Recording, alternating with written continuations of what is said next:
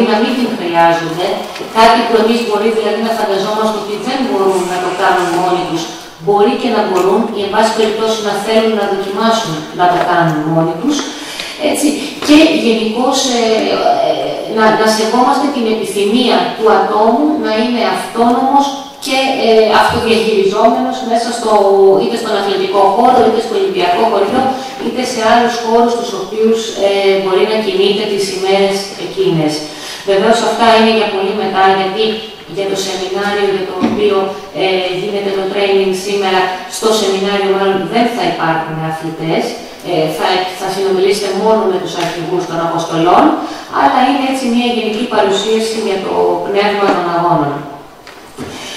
Έτσι λοιπόν ε, θα, θα ήθελα εδώ πέρα να μιλήσουμε για κάποιους βασικούς κυρίαρχους μύθους γύρω από τα Special Olympics και ποια είναι τελικά η αλήθεια και η πραγματικότητα που τα συνοδεύει. Ο πρώτος μύθος είναι ότι τα Special Olympics είναι μόνο για παιδιά. Δεν είναι μόνο για παιδιά, είναι μια μεγάλη αθλητική δραστηριότητα για όλες τις ηλικίες. Η συμμετοχή είναι για άτομα από 12 χρονών μέχρι και 80, μέχρι όσο μπορεί η φυσική κατάσταση του καθενός έτσι να του επιτρέπει να λάβει μέρος σε αγωνίσματα και να αθληθεί. Ο δεύτερος μύθος είναι ότι είναι μόνο για αθλητές χαμηλού ε, επίπεδου, χαμηλού επίπεδου εννοώ αθλητικού επίπεδου. Ε, ούτε αυτό είναι αλήθεια. Στα Special Olympics υπάρχουν ευκαιρίες συμμετοχές σε όλα τα αθλητικά επίπεδα. Η τρίτη, ο τρίτος μύθος ε, που συχνά συγχαίουμε ε, τη διανοητική αναπηρία με το σύνδρομο Down, έτσι είναι ότι όλοι οι αθλητές έχουν σύνδρομο Down, δεν έχουν όλοι οι αθλητές σύνδρομο Down, μπορεί να έχουν άλλου είδους παθήσεων, από αυτά που ανέφερα πριν ή και κάτι άλλο, κάθε περίπτωση είναι ξεχωριστή και διαφορετική. Ε, Τέταρτος μύθος είναι ότι τα Special Olympics είναι για όλους τους ανάπηρους γενικώς. Δεν είναι για όλους τους ανάπηρους γενικώς, είναι μόνο για άτομα με διανοητική αναπηρία. Ε, και βέβαια ο πιο συνηθισμένος μύθος, ε, πιο συνηθισμένο, το πιο συνηθισμένο στερεότυπο αν θέλετε, είναι η ίδια διοργάνωση με τους παραολυμπιακούς ή κάπως παρόμοια, δεν είναι κάπως παρόμοια, δεν είναι η ίδια διοργάνωση, είναι κάτι εντελώς διαφορετικό. Και έρχομαι να σας μιλήσω για το... Α, όχι, έχουμε κι άλλους. θα, θα ξαναμιλήσω λοιπόν μετά στις διαφορές μας με τους ε, παραολυμπιακούς αγώνες. Ε, μία άλλη κοινή πεποίθηση για τα Special Olympics είναι ότι είναι κάτι το οποίο κρατάει μόνο την περίοδο των αγώνων. Ε, δεν είναι αλήθεια. Τα Special Olympics της κάθε χώρας, η, η Επιτροπή Special Olympics της κάθε χώρας, όπως είναι για την Ελλάδα τα Ελλάς, δίνουν την ευκαιρία για προπόνηση και αγώνες σε αθλητές με διανοητική αναπηρία καθ' όλη τη διάρκεια της χρονιάς με τη βοήθεια εθελοντών προπονητών για όλα τα αθλήματα. Ε, πολύ συχνά ο κόσμος επίσης πιστεύει ότι στα Special Olympics θα δει μόνο τον στίβο, αθλήματα που, που ε, έτσι βλέπουμε στον στίβο.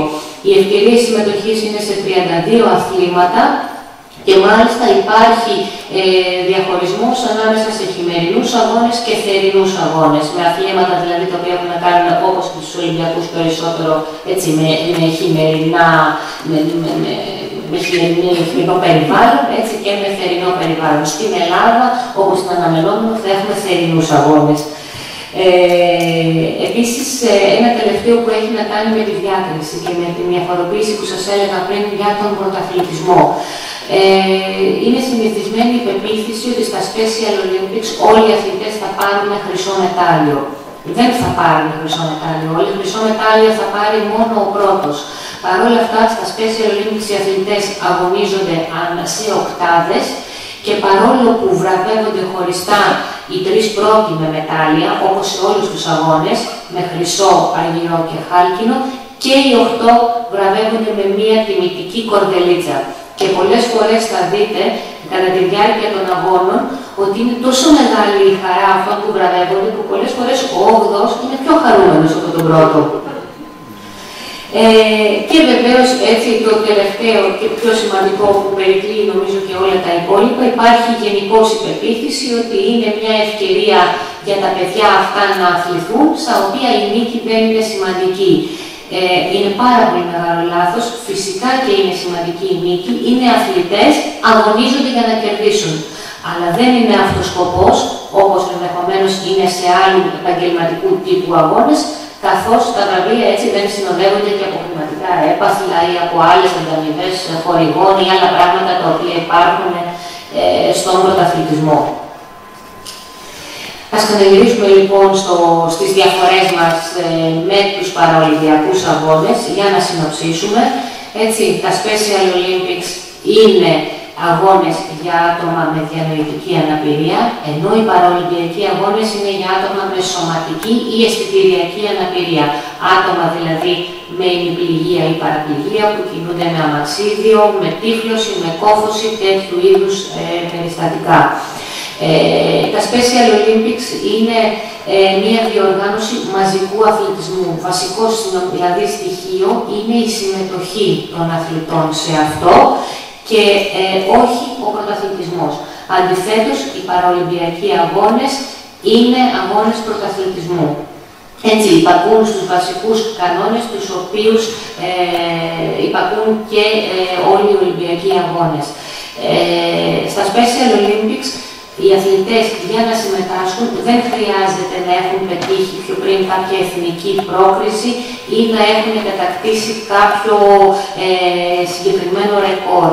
Όλοι έχουν δικαίωμα συμμετοχή στους αγώνες ανάλογα με τις δυνατότητες της κάθε Εθνικής Επιτροπής ε, Special Olympics.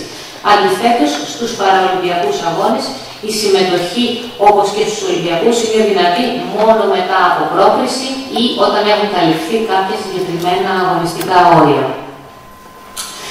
Ε, η κατηγοριοποίηση στα Special Olympics λέγεται divisioning. Θα το δείτε να συμβαίνει την πρώτη ή τις δύο πρώτες ημέρες σε κάθε άθλημα, την περίοδο των αγώνων ε, τα, οποία, τα οποία θα παρακολουθήσετε και γίνεται σε σειρές των 8 ατόμων, όπως σας είπα πιο πριν, ε, όπου οι οποίες πληρούν κάποια συγκεκριμένα χαρακτηριστικά, όπως η κοντινή ηλικία, ε, η παρόμοια επίδοση στο άθλημα και ένας κοντινός βαθμός λειτουργικότητας.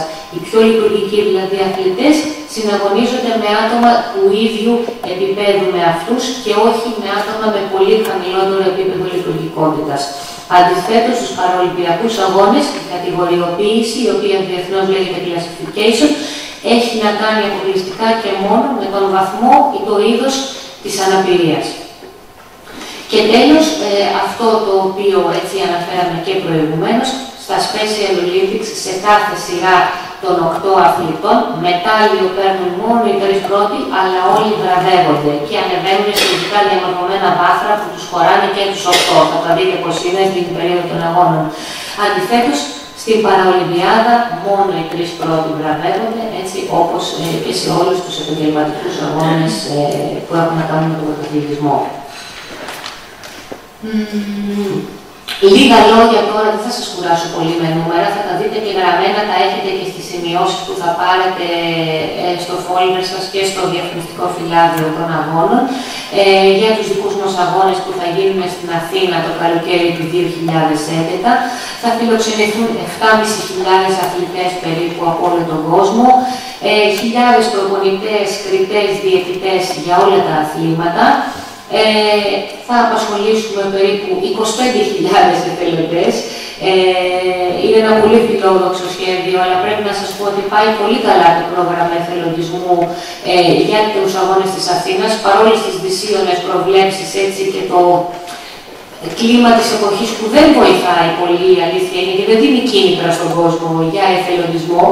Ε, 40.000 μέλη των οικογενειών τους, γιατί είναι πολύ συχνό ε, και θα το δείτε στους αγώνες οι αθλητές αυτοί να ταξιδεύουν μαζί με τις οικογένειές τους. Έτσι και βεβαίως ελπίζουμε χιλιάδες θεατές, αλλά και πολλούς δημοσιογράφους ε, από κάθε ε, γωνιά του κόσμου. Παράλληλα με, τις, ε, με, τα αθλητικά, με το αθλητικό πρόγραμμα, το αγωνιστικό πρόγραμμα των αγώνων, το οποίο ε, είναι από τις 26 Ιουνίου μέχρι τις 3 Ιουλίου, 25 και 4 Ιουλίου είναι οι τελετές, έναρξης και λήξης. Έτσι, λίγο λοιπόν ε, πιο πριν, αλλά και παράλληλα με το αθλητικό αγωνιστικό πρόγραμμα, θα πραγματοποιηθούν μια σειρά άλλων εκδηλώσεων, μη αθλητικών, οι οποίες ε, όλες μαζί ε, αποκτούν έτσι, ε,